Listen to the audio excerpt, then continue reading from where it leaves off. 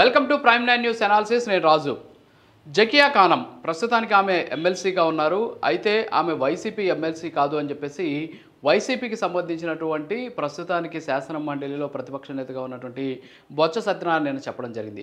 సరే ఆ ఎపిసోడ్ని పక్కన పెడితే ఇప్పుడు జకియా ఖానం జగన్తో పాటు ఆ పార్టీకి చెందినటువంటి మాజీ మంత్రులందరూ కూడా ఇరికించినటువంటి సిచ్యువేషన్ ఎందుకంటే జకియా ఖానం తన సిఫార్సు లేఖ మీద దాదాపు అరవై ఐదు వేల రూపాయలు తీసుకొని తిరుమల శ్రీవారి దర్శనం చేయించారు అని చెప్పేసి ఒక కేసు నమోదైంది. ఈ కేసులో జకియా ఖానం ఎమ్మెల్సీ ఆమె ప్రస్తుతానికి డిప్యూటీ శాసనమండలికి శాసన మండలికి సంబంధించినటువంటి చైర్మన్గా వ్యవహరిస్తున్నారు. సో ఆమె మీద ఏవన్గా ఆమె మీద తిరుపతిలో కేసు నమోదైంది. అయితే జకియా ఖానం జగన్తో పాటు అప్పట్లో ఉన్నటువంటి వైసీపీ మంత్రులు వైసీపీకి సంబంధించినటువంటి ఎమ్మెల్యేలు ఎవరైతే తిరుమల శ్రీవారికి సంబంధించినటువంటి టికెట్లను అమ్ముకున్నారో వాళ్ళందరూ కూడా ఇప్పుడు ఆమె ఇరికించేసినటువంటి పరిస్థితి. సో దీని మీద ఎలా విచారణ జరపాలి అని ఆలోచిస్తూ ఉన్నటువంటి కూటమి ప్రభుత్వానికి ఇప్పుడు జకియా ఖాన్కి సంబంధించినటువంటి సిఫార్సు లేక ఒక ఆయుధంగా మారింది. ప్రస్తుతానికి దీని మీద విచారణ స్టార్ట్ చేయాలని చెప్పేసి ప్రభుత్వం నిర్ణయం తీసుకుంది. అయితే ఇప్పుడు చిత్తూరు జిల్లాకు చెందినటువంటి మాజీ మంత్రులు రోజా అలాగే పెద్దిరెడ్డి రామచంద్రారెడ్డి మరొక పక్క జగన్మోహన్ రెడ్డికి అత్యంత ప్రియశిష్యుడిగా చెప్పుకునేటటువంటి చెవిరెడ్డి భాస్కర్ రెడ్డి. ఈ ముగ్గురు భాగవతం బయటపడబోతోంది. తిరుమల శ్రీవారి దర్శనం టికెట్లను ఏ స్థాయిలో వాళ్ళు విచ్చలవిడిగా అమ్ముకున్నారు లేదా విచ్చలవిడిగా ఇష్టానుసారం జారీ చేశారు అనే దాని మీద గతంలోనే కొన్ని డాక్యుమెంట్స్ బయటపడ్డాయి. వాళ్ళు ఇచ్చినటువంటి సిఫార్సు లేఖలు కూడా బయటపడినటువంటి సిచ్యువేషన్ మనం చూసాం. ఈ సిఫార్సు లేఖల్లో భారీ ఎత్తున అంటే ఒక లేఖకి ఆరు మందికి ఇవ్వాల్సి ఉంటే వీళ్ళు ఇష్టానుసారం ఇరవై మందికి ముప్పై మందికి డెబ్బై మందికి ఇలా ఒక్కొక్క లేఖలు ఇచ్చేసినటువంటి పరిస్థితి మనం చూసాం.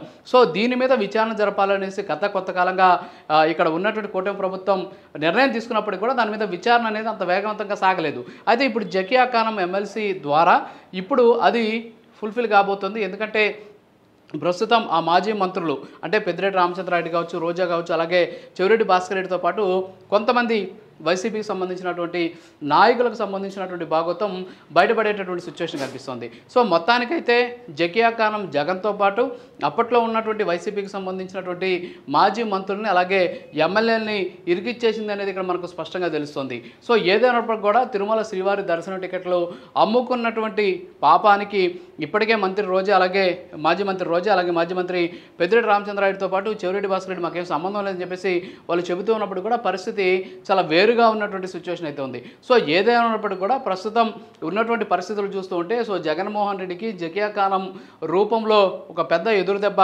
తగిలింది. కేవలం జగనే కాదు అప్పట్లో పార్టీలో కీలకంగా వ్యవహరించినటువంటి మాజీ మంత్రి పెద్దిరెడ్డి రామచంద్రారెడ్డి అలాగే మాజీ మంత్రి రోజాకి సంబంధించినటువంటి వ్యవహారాలను బాగోతాలను టీటీడీ బయటకు తీయబోతోంది ఈ కేసును ఆధారంగా చేసుకుని గతంలో ఏ విధంగా సిఫార్సు లేఖలు ఇచ్చారు ఇచ్చినటువంటి సిఫార్సు లేఖలు ఎవరెవరికి విక్రయించారు విక్రయిస్తే వాళ్ళకి సంబంధించినటువంటి వివరాలు ఏంటి నిజంగా వీళ్ళు వాళ్ళకి సిఫార్సు లేఖలు ఇచ్చారా? లేకపోతే డబ్బులకి ఇచ్చారా? లేకపోతే దీంట్లో ఏమైనా క్విడ్ప్రోకో వ్యవహారాలు ఉన్నాయనేటువంటి అంశాలన్నింటినీ కూడా విజిలెన్స్ విచారణ జరుపుతోందని చెప్పి చెప్పినప్పుడు కూడా దాని మీద పెద్దగా ప్రయోజనం అయితే కనిపించలేదు. కానీ ఇప్పుడు ఈ జకియాకాలం దొరికినటువంటి నేపథ్యంలో ఈమె సాకు చూపించి వీళ్ళందరి మీద విచారణ జరపాలని చెప్పేసి కుటుంబ ప్రభుత్వం భావిస్తోంది. ఈ నేపథ్యంలోనే జకియాకాలం సాకులో ఇప్పుడు మాజీ మంత్రులైనటువంటి రోజా అలాగే పెద్దిరెడ్డి రామచంద్రారెడ్డి అలాగే చెవిరెడ్డి భాస్కర్ రెడ్డికి సంబంధించినటువంటి ఈ టికెట్ల వ్యవహారం ఏదైతే ఉందో దీని మీద త్వరలోనే విచారణకి స్టార్ట్ చేసేటటువంటి అవకాశాలు కనిపిస్తున్నాయి.